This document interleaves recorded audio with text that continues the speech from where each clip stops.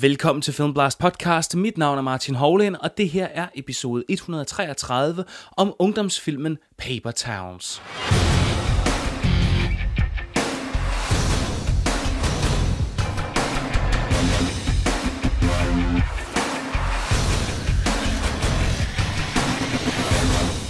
Paper Towns er lige udkommet på dansk Blu-ray fra 20th Century Fox, og den er en rigtig ungdomsfilm om en nørd, der er smask forelsket i naboens seje, cool og mystiske pixie girl datter. Det handler om at tro på sig selv, det handler om at leve i nuet, og der er både en gåde, der skal løses, og en selvudviklende roadtrip, som vores hovedperson kommer ud på. Det er godt i udvalgte scener og udvalgte sekvenser, men hovedsageligt er Paper Towns lidt for lige ud af landevejen, lidt for banal og lidt for dvask af en ungdomsfilm at være. The way I figure it, everyone gets a miracle. My miracle was I wound up living across the street from Margot Roth Spiegelman. She was arguably the most gorgeous creature that God had ever created. Margot's life was a series of unbelievably epic adventures. Are you gonna spend the rest of high school pining for this girl? As senior year drew to a close, Margot and I were practically strangers. Until this one night. What the? Margot? I need to borrow your car. What? I have nine things I need to do tonight. Can't you just get your boyfriend to do it? Ex boyfriend. My boyfriend has been cheating on me. Revenge plot begins. Not as weird as it looks. Stop. Can't believe you just did that. Take the picture now. Okay, now that was fun. I can feel my heart beating in my chest. That is the way you should feel your whole life. It's beautiful. It's a paper town, paper houses, and paper people. Everything's uglier up close. Not you. You think it's gonna be different in the morning? I really hope so. Paper Towns er baseret på en ungdomsroman af John Green, og John Green, det var jo ham, som leverede oplægget til sidste års ungdomssucces En flænge i himlen, om to unge kræftpatienter, som bliver forelsket på trods af deres sygdomme. Denne her, altså Paper Towns, er en noget mere lige ud af landevejen ungdomsfilm. Den foregår i Orlandos forsteder. Den handler om den mere velbeslåede amerikanske middelklasses teenageunger, og så handler den om deres problemer med livet selvfølgelig. Paper Towns handler om unge Quentin, der er vokset op ved siden af naboens datter, den mystiske og eksotiske og eventyrlystende Margot Roth Spiegelman, som hun hedder.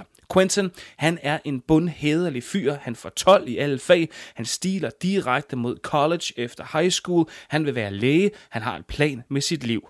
Men hende her, Margot, hun er altså meget dragende.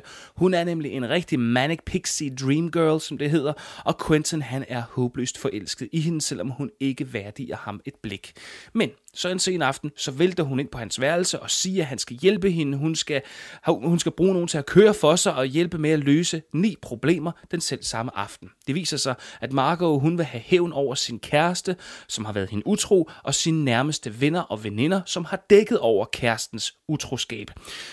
Og hun og Quentin, de tager så på den her nærmest questagtige færd med sådan forskellige stop undervejs i nattens mulm og mørke. Alt er godt, alt ender godt, de bonder, de krammer, og det er dybest set meget romantisk. Næste morgen, bum, så er Margot forsvundet. Hun er væk, politiet kan ikke finde hende, forældrene er bekymrede, og den eneste, der kan lægge to og to sammen og opdage Margos hemmelige spor, som hun har lagt ud, så alle kan se dem i princippet, det er Quentin.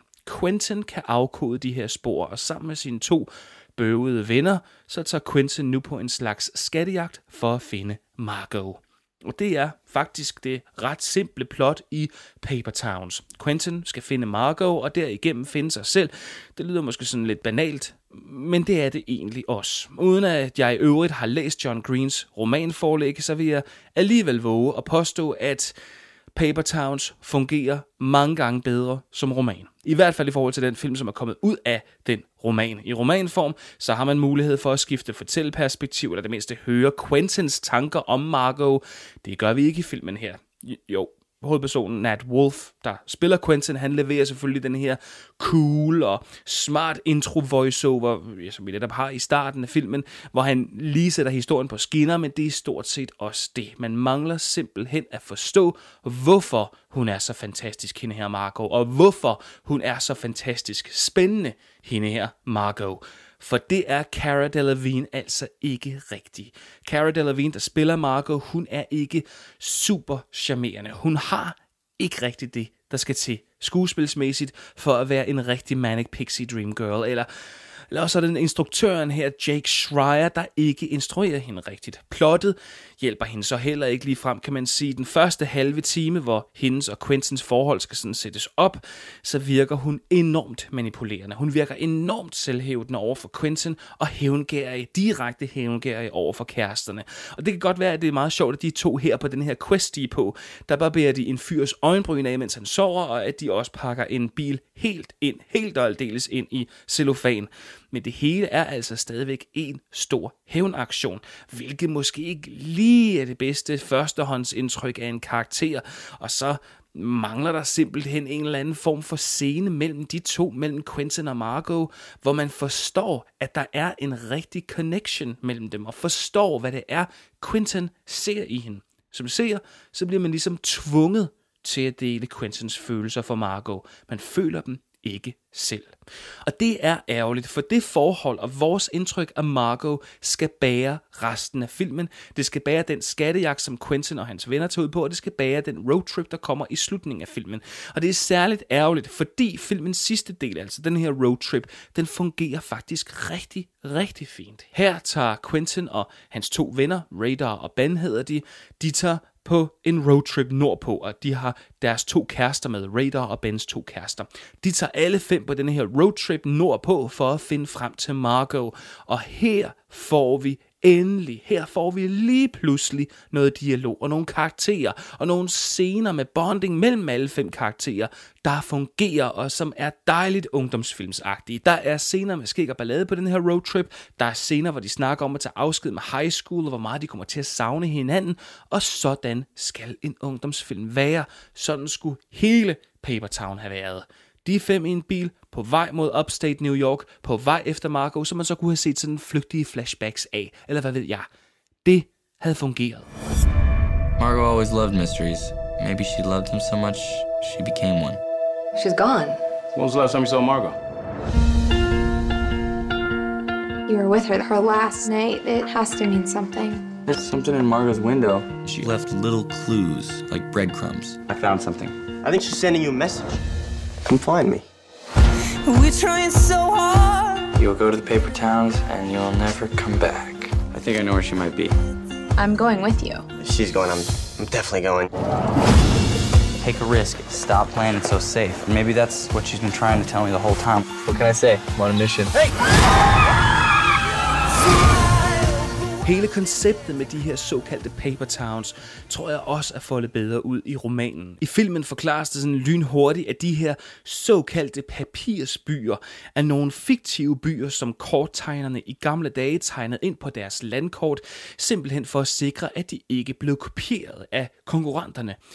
Paper Towns er altså byer, der ikke eksisterer i virkeligheden, og det er faktisk en ret cool idé at bruge det koncept som et tema eller som en metafor i historien om Margot, men det får slet ikke pondus nok her i filmens slutning, og Margot ender med at blive fremstillet som det, hun reelt er, en selvoptaget dum gås.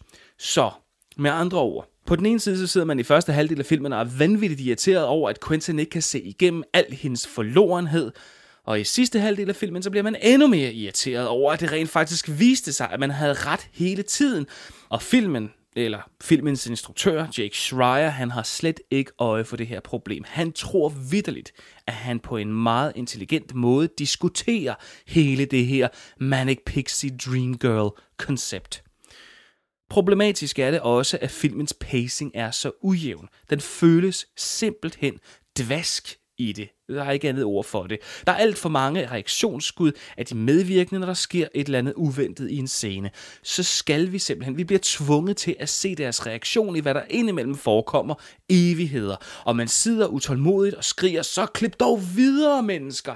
Der er flere scener, hvor det sjove, det komiske falder fuldstændig til jorden, fordi klipningen ikke er snappy nok og det hele bliver dvask. Og det er altså ærgerligt, for Paper Towns er faktisk på mange måder en kærkommen ungdomsfilm på et marked, hvor man hurtigt kan få det indtryk, at alle teenagefilm handler om et eller andet postapokalyptisk samfund, der behandler de unge som kanonføde jævnfører Hunger Games, jævnfører Divergent og jævnfører Maze Runner-filmene selvfølgelig.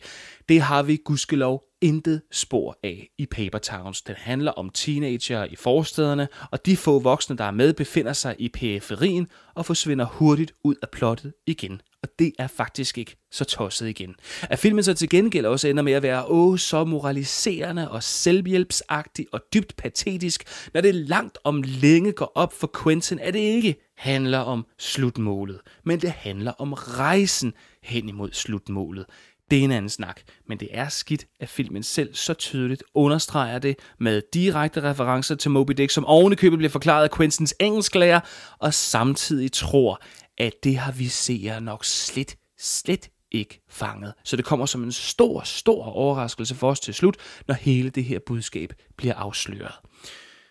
Så derfor, uden at jeg har læst den, så er John Greens roman med garanti bedre end denne her middelmodige filmatisering af Paper Towns.